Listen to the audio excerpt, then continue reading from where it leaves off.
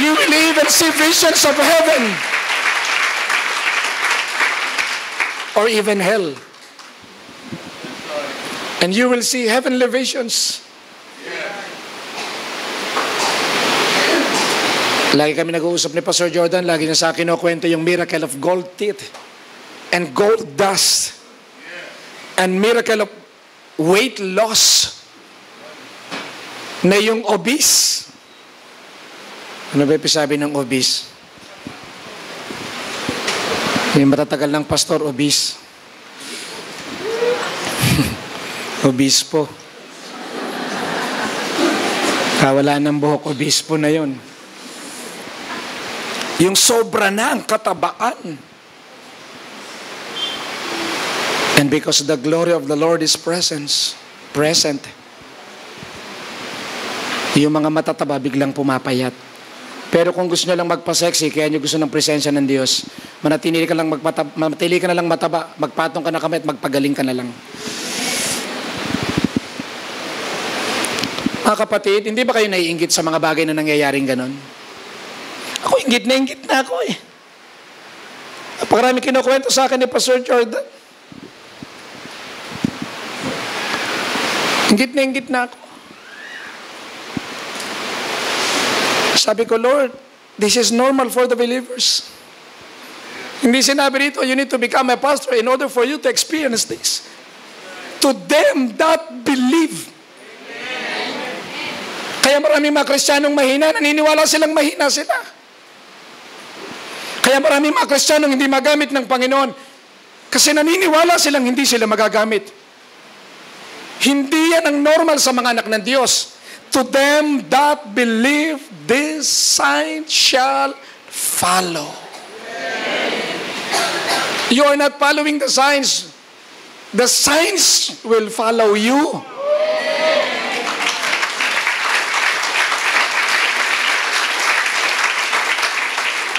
the signs.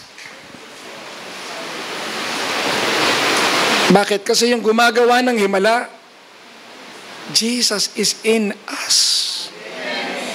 Kahit saan ka magpunta, kasama mo yung gumagawa ng himala. Kaya pag ipinatong mo yung kamay mo sa mga may sakit, yung release ng kapangyarihan ng Diyos. Panahon na yung mga kamay na yan ay magamit. Panahon na. Panahon na yung mga nagdadrive sa church. Huwag kayong maniwalang driver lang kayo hanggang mamatay. You are disciples of Jesus Christ and you are destined. Malibang naniniwala kayo, ganyan lang kayo. Pero itinataas ng Diyos ang kanyang mga anak.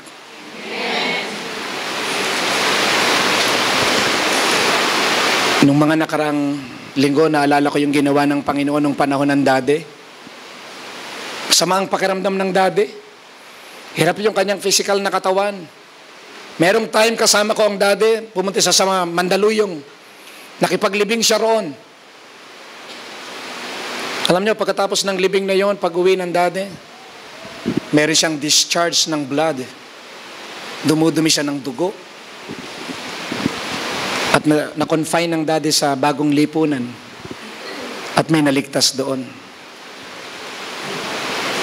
Merong time na so much discouragement. Hindi ko kayang ikwento sa inyo yung, hindi ko kayang ikwento lahat ng pinagdaanan ng daddy kasi hindi ako ang dumaan doon. Pero marami akong alam na pinagdaanan siya. Pero ang kanyang kaaliwan ay yung kalakasan ng Panginoon.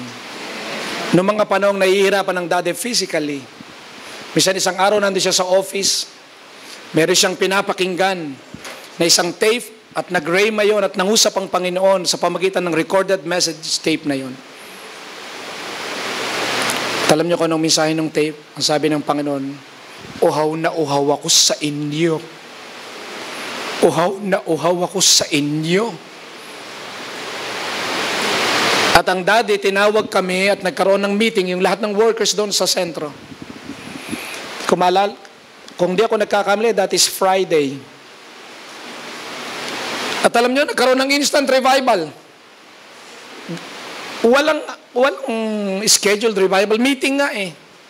at bumuhos ang Espiritu ng Diyos. At ang sabi ng daddy, hindi na natin kailangang hintayin na mga schedule ng revival. Bumubuhos na ang Espiritu ng Diyos. At pagkatapos noon, sabi ng daddy, bukas, Sabado, may revival na. Sabi naman, Pastor, walang masyado nakakaalam. Ipaalam nyo. At nag-revival ng Sabado ng gabi. At napakaganda ng ginawa ng Panginoon. Linggo ng umaga, linggo ng gabi, lunis ng gabi, martis ng gabi, merkulis ng gabi, webes ng gabi, tuloy-tuloy na yon, linggo-linggo. Hanggang sa, sabi ng dati, hindi pwedeng tayo lang. Pupunta rin tayo doon sa mga probinsya at tuloy-tuloy na kumikilos ang Diyos.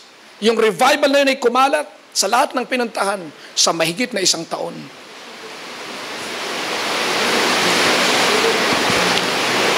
Nung masakit na masakit yung narar... Sa totoo lang po, isang buwan na akong ganito. Sabi ko, Panginoon, tulungan po ninyo ako.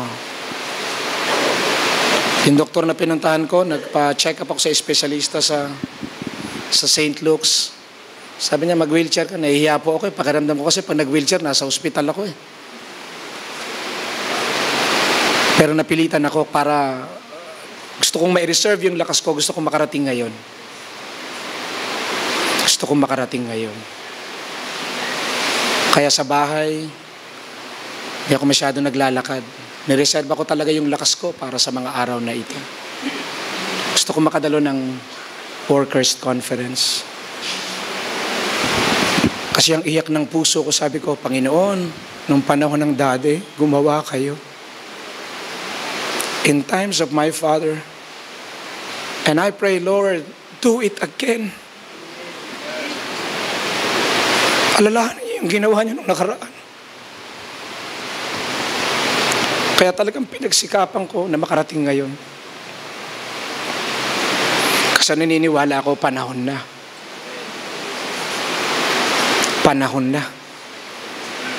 Panahon na. Naniniwala akong panahon na. At ang sabi rito sa ating binasa, nung umakyat na ang Panginoon at naupo sa kanang bahagi ng Ama, humayo ang mga alagad at sinamahan sila ng Panginoon. In reality, hindi lang tayo basta sinasamahan ng Diyos. Ang Diyos ay nasa atin. Hindi ako magtataka kung may mga kabataan ngayon na narito. O kahit mga bata. In the early 19th century, isa doon sa mga librong nabasa ko concerning revivals. Merong isang 8 years old na bata na napuspo sa isang revival meeting. Nung umuwi sa kanilang lugar, naligtas yung kanyang buong lahi. 8 years old. Hindi ako magtataka kung pag-uwi natin, tayong lahat ay gamitin ng Panginoon na manalangin sa may sakit at gumaling yung mga may sakit. Hindi ako magtataka kung mapuno ang simbahan niyo ng mga tao sapagkat yan ang normal. Ang abnormal, yung paubos ng paubos.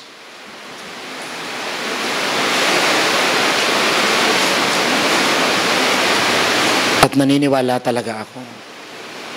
Kailangan lang nating maniwala.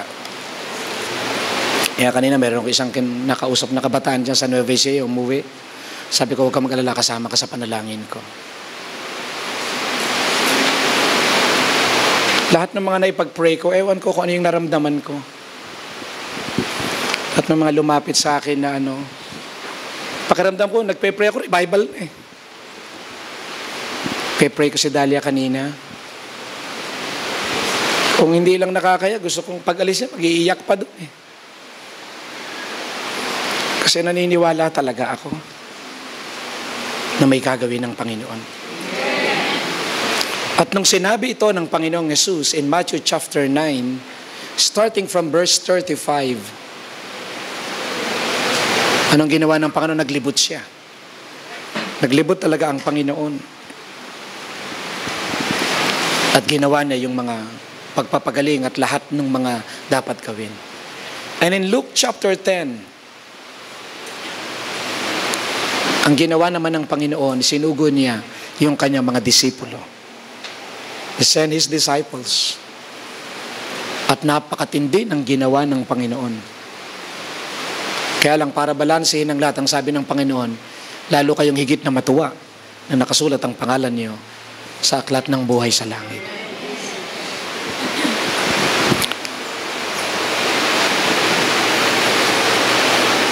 Yun talaga ang gusto ng Panginoon. Sino sa inyo ang naniniwala na yun ang normal na dapat mangyari sa atin? Ngayon, ano ba ang naging sikreto? Bakit sila nagtagumpay? Nung umakyat na ang Panginoong Jesus, at kinausap niya ang limang daan, naniwala ang isang daan at dalawampu. One-fourth of one-fourth minus one of 500. Kasi 125 ang ano eh.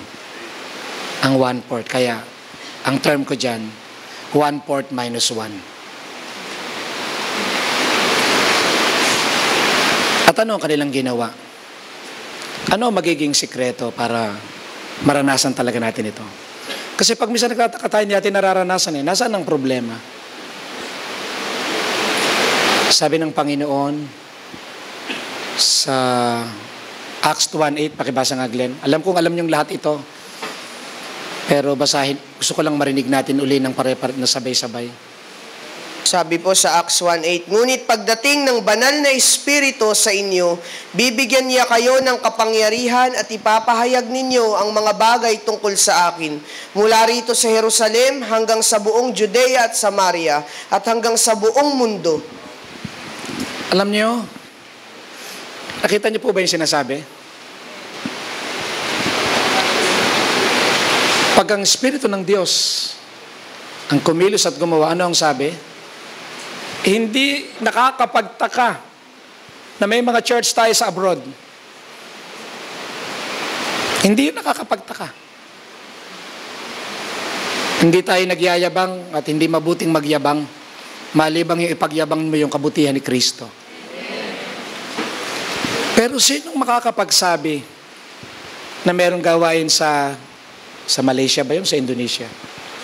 Sa Malaysia. Meron sa Macau.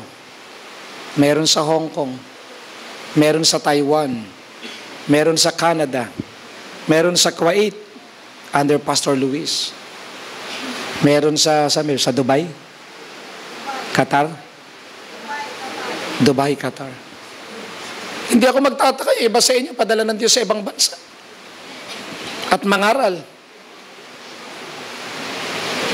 Lalo na kung mabalitaan kong preacher na kayo sa Afghanistan.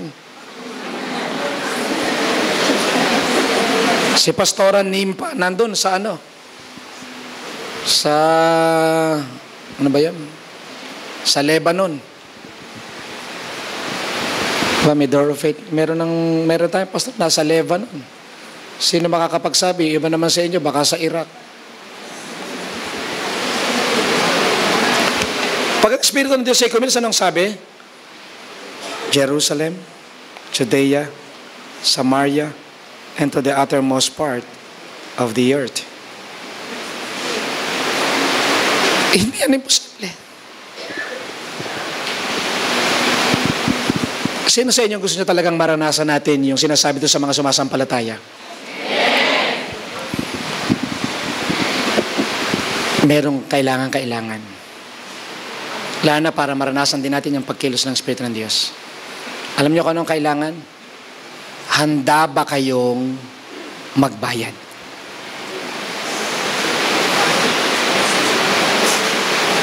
Kasi hindi ibibigay ng Diyos ang kanyang pagkilos sa gusto lang magyabang. Panginoon, punuin ninyo ako para makita lang pag-ihip ko. Tumba kagad. Pagturo ko na ganoon, hilo na kagad. Hindi yon. Ang lahat ng ito'y dapat nangyayari para maluwalhati ang Panginoon. At pag nakuha mo yan na naintindihan mo at paniyaran mo ng halaga, Gusto niyo bang maranasan yung mga bagay na dapat maranasan ng sumasampalataya? And my question is, are you willing to pay the price? Are you willing to pay the price? Bagay, nakita ko mukhang nagsasanay na kayo maghanda ng ano eh. Payag kayong matulog sa tolda eh. Alam niyo kung ako lang ang tatanungin? Kung, kung yung sariling gusto ko lang ang masusunod, gusto ko nakatayo na lahat ng building dito na may aircon at doon kayo lahat nakahiga. Pero alam niyo ba, pagka nangyari yon, hindi ako nakatitiyak kung kaya kayo narito dahil handa kayong magbayad ng halaga. Alam niyo bang sa abot ng, ng makakaya natin kasama rin ibang mga pastor at ng mga report ng mga pastor at ng mga simbahan, yung mga gustong mag-report at yung napipilitang mag-report.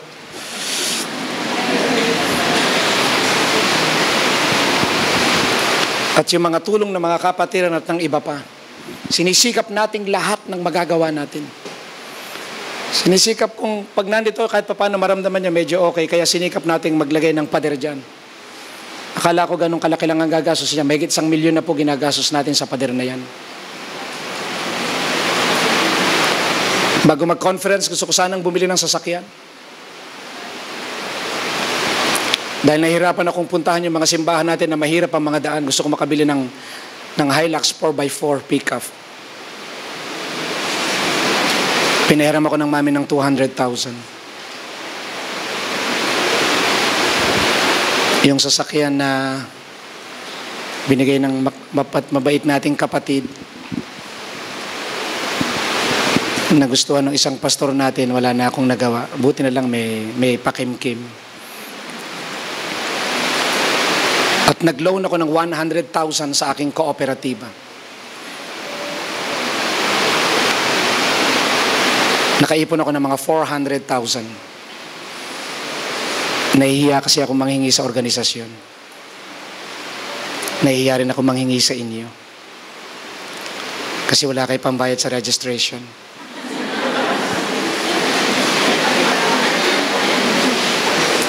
Mas matapang ako mangaral para sa iba, pero para pag sa sarili ko. Kaya lang sabi sa akin ng Panginoon, kailangan ng pangangailangan. Kaya pinagastos ko na yung 400,000 dito sa campsite natin at saka dun sa campsite sa Batangas. At saka dun sa campsite sa Leyte. Sabi ko, Panginoon, di bale, saka na lang. Gusto ko lang makapagpagawa ng maraming tolda. Hindi ganun kamura yung toldang lahat ng ginawa na yan, mga kapatid. At kahit yung mga bangko niya na walang sandalan, gastos din po yan. Talagang napakalaki ng kailangan. Pero sabi ko, Panginoon, kasi gusto ko kahit papaano may mahigaan kayo. Ako, sanay ako kahit saan. Nung panahon ng Pastor Masaredo, sa Mabini, sa bangka lang ako natutulog, hindi ako naghahanap ng higaan. Pero alam niyo, ang sabi ng Panginoon, naniniwa, kaya ko kayong tulungan, kaya ko kayong punuin. To them that believe, I can do that. But are you willing to pay the price? Are you willing to pay the price? At anong unang binayaran ng mga alagad? They believed God and they waited for the Holy Spirit for 10 consecutive days. They are willing to give up their job. Umabsent ka ng sampung araw na tuloy-tuloy.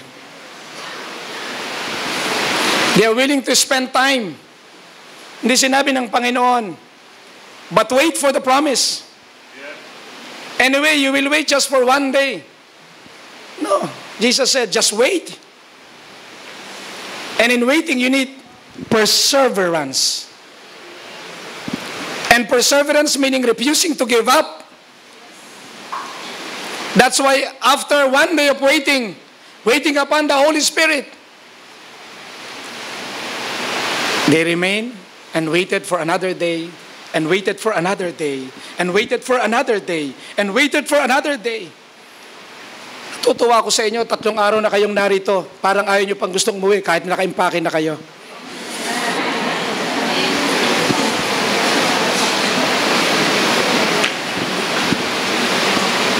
They waited for 10 days. They waited for 10 days. Gusto niyo mapuspos ng Espiritu ng Diyos? Huwag kayong pumunta rito at patulog-tulog lang sa kwarto ninyo. Huwag kayong pupunta rito at pahuli-huli.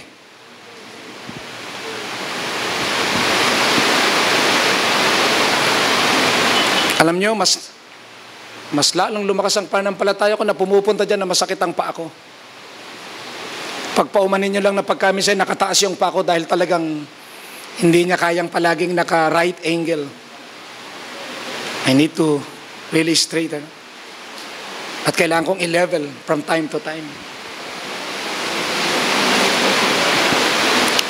Bakit nila naranasan talaga yung pagkilos ng pang-espiritu ng Diyos? Handa silang maghintay. Yung mga naniniwala, handa yang maghintay. They waited for 10 days. Minsan sisim pa tayo, patapos na yung service kung dumating tayo. Tapos sabi nyo, mahal na mahal niyo yung Panginoon. Tapos na yung opening nung dumating ka.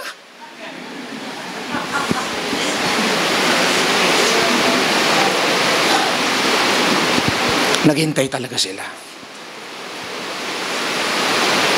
Willing ba kayong maghintay? They waited for 10 days. And what happened? In King James Version said, nung dumating ang Holy Spirit, and the description is like this, rushing, mighty, windy. Alam niyo, nung dati binubuli-buli kayo, alam niyo sabi ng Panginoon sa akin, ba't hindi ako magmamadali? Sampung araw na naghihintay itong mga ito. Limandaan itong kinausap ko, itong 120 na ito, sampung araw na itong naghihintay. Hindi pwedeng hindi puntahan ng Panginoon ang mga naghihintay sa Kanya. Walang mapapahiya na naghihintay sa Panginoon. Wala. Lahat na naghihintay sa Panginoon ay hindi mapapahiya. And they that wait upon the Lord shall renew their strength. They shall mount up with wings as eagle. They shall run and not be weary. They shall walk and not faint.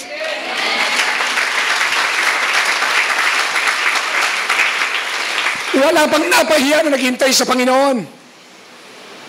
Hindi kayo nalugi na naghintay ng tatlong araw dito. At huwag kayong malungkot na hindi masyadong masarap yung pagkain ninyo. Kung ako ang masusunod, gusto ko laging masarap ang pagkain ninyo. Pero kailangan pare-pareho tayong matutong kumain ng kahit simple lang. Kung simpleng pagkain lang nirereklamo ninyo, hindi kikilos ang Espiritu ng Diyos sa inyo. Hindi ko sinasabi sa matter of food. Pero ang ibig ko sabihin, there were times that you must be willing to sacrifice. That even, there were times that you need to fast. Na kahit simpleng pagkain, kaya mong kainin. Nagpapasalamat ako sa inyo, hindi kayo nagreklamo sa pagkain. Alam niyo ba pagka narinig namin kayong hindi nasasarapang kumain? Bago kayo nabigatan, kami na ang unang nabigatan. Sapagkat pag kami isang tao rin kami, gusto naming magyabang. Gusto namin okay kayo lagi. Bakit yung mga pastor nagagamit ng Panginoon?